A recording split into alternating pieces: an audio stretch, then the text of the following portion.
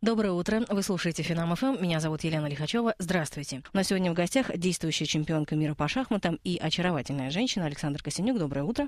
Здравствуйте. А, объясните мне, пожалуйста, есть ли какой-нибудь вот такой четкий рецепт для того, чтобы воспитать э, чемпионку? Вот, такие конкретные вещи. Во сколько нужно начать заниматься сейчас при современном э, развитии шахмат? Да? Э, где лучше заниматься? Где искать тренеров? Вот конкретные рекомендации. Ну, сложный. Это вот надо знать, что это длительный рецепт, что uh-huh. это не рецепт одного года. Я читала, что для, э, для усвоения вот всех шахматных каких-то принципов, нюансов до, до эм, поднятия до уровня мастера, да, до uh-huh. освоения, ну, э, требуется 10 лет. В шахматах, также там я читала, что это скрипка, знание языка, uh-huh. вот тут uh-huh. 10 лет.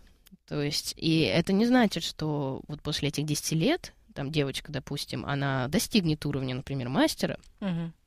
Я не знаю, может быть, гроссмейстера, если она одаренная, если построить тренировочный процесс, если правильно подобрать тренерские кадры, если все вот срастется, если психологически она устойчивая будет, потому что, опять же, повторяю, спортивной составляющей никто не отменял под огромным напряжением, когда каждый э, ход это выбор, и ты должен делать, ломаются угу. и очень хорошо подготовленные шахматисты и шахматистки. То есть тут еще очень важно, Нервная чтобы система, правильно да, был, да? правильно, вот. Э, если все срастется, она станет там мастером-гроссмейстером, э, опять же, никто не дает гарантии, что она поднимется и будет э, супер классной шахматисткой, хотя, ну, если в нее вложить огромные деньги, если все подобрано правильно, если она потратила 10-15 лет своей жизни, то, в принципе, результат будет, будет неплохой. Угу. Я практически, ну не у каждой, возможно, но у достаточно, вот я думаю, если посмотреть там турниры десятилетних, и те девочки, которые выигрывают, подают надежды, вот в них их взять и начать с ними заниматься, то, в принципе,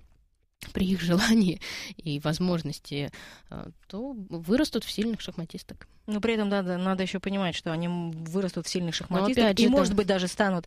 И а, бросят шахматы, да. это тоже часто бывало. А если даже они их не бросят, они, в общем, никогда не станут такими состоятельными, как, например, э, чемпионки мира по теннису и так далее. Они, ну, не, об... они не обеспечат свою семью. Да, да, там, конечно, тоже конкуренция, но там, по крайней мере, э, что касается материального плана, есть к чему стремиться, и эти цифры понятны, они, в общем, достаточно соблазнительны. Поэтому тут нужно, в общем, понимать, что э, э, это в каком-то степени, в какой-то степени действительно поприще такое. Mm-hmm. Да?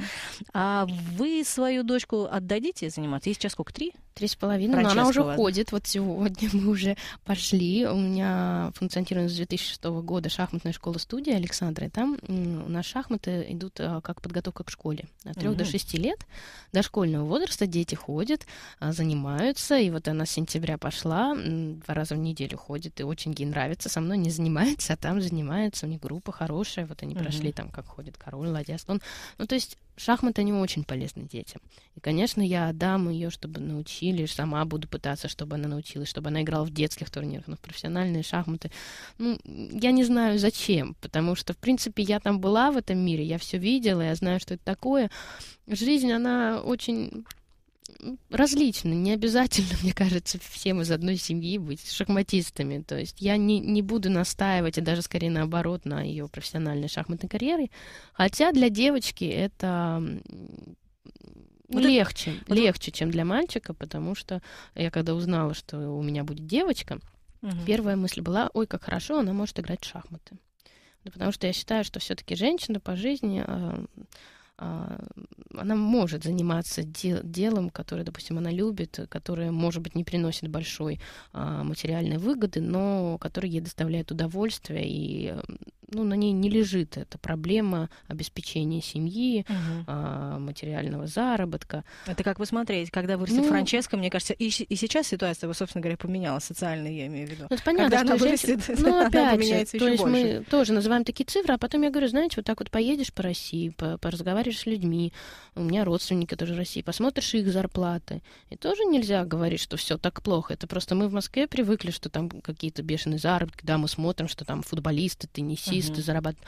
А вот так вот представь, что каждый день ты ходишь на работу с 8 до 8, там, я не знаю, да. и каждое утро встаешь, и детей тоже, соответственно, почти не видишь, а зарабатываешь за нелюбимую тобой работу какую-то там зарплату, очень ограниченную, у тебя нет невозможности роста, и ты понимаешь, что всю жизнь ты будешь с 8 до 8 вот так вот ходить, знаете, честно говоря, пугает. Угу. Пугает, и поэтому я понимаю, что конечно, надо стремиться к высшему, и надо ставить высокие цели, и надо идти к ним, но надо и помнить, что то, что ты имеешь, может быть не так плохо. А, вот, так что, в принципе, я не жалуюсь, и мне нравится очень мое дело, как я уже говорила, и я а, получаю огромное удовольствие от того, что я делаю в жизни.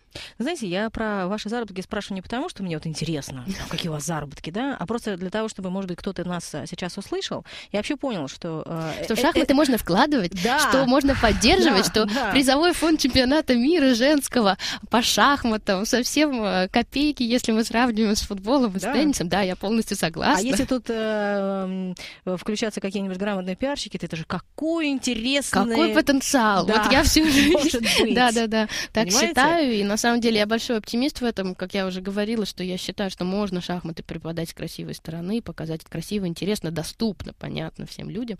Mm-hmm. И потенциал, особенно в женских шахматах, где призовые фонды я вот в разы сейчас отличаются. Смотрю, я понимаю, что в разы и чисто внешне, в общем говоря. У нас женская да, шахматная сборная России Очень все отмечают, девочки. да, все отмечают, что если да. бы нам еще давали за не только за результат, но еще и за красоту, то вообще без шансов были бы просто все все сборные да вместе взятые. Так что а, есть потенциал, и я в него верю. А, можно я, может быть, в какой-то степени еще раз вот вернусь к этой теме? А, шахматы, шахматная жизнь, а, то, что происходит с женщиной вот за доской, какой отпечаток это накладывает на а, именно такой женский характер? Вот вы говорите, что это нужно По-разному. девочкам. А, в каком смысле? А вообще самое главное, что девочки как раз шахматы могут подарить, потому что у женщин есть такая проблема, угу. это поднять самооценку.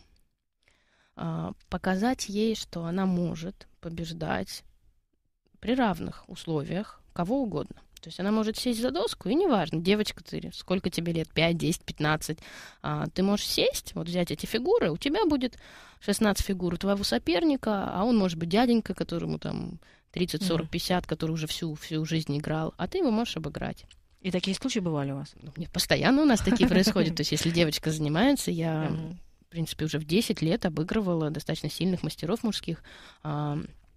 Вот это, наверное, самое главное для девочки именно. Вот чувство самоутверждения и повышение самооценки и осознание того, что она своими собственными мозгами, своей собственной головой, она может сделать в жизни много. И неважно, будет ли она потом играть в шахматы профессионально или не будет, она вот просто вот это поймет, поверит в себя и скажет, а почему нет, возможно, в чем-нибудь еще. Угу.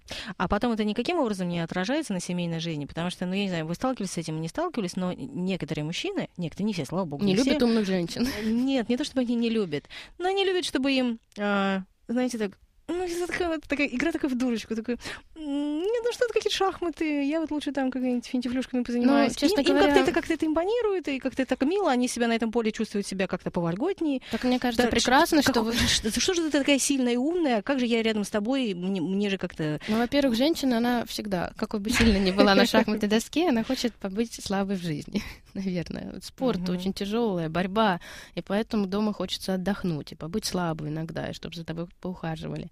А, опять же, это все зависит от характера женщины, и я думаю, что нельзя сказать, что... Но насчет того, что некоторые мужчины предпочитают вот таких вот глупеньких девушек, отлично, значит, ее не выберут такие мужчины. Мне кажется, как раз они ей не пара. Вот, поэтому... Ну, какой-то особенной проблемы для вас никогда не было? Нет, не было, и э, не считаю, что это проблема, умная женщина.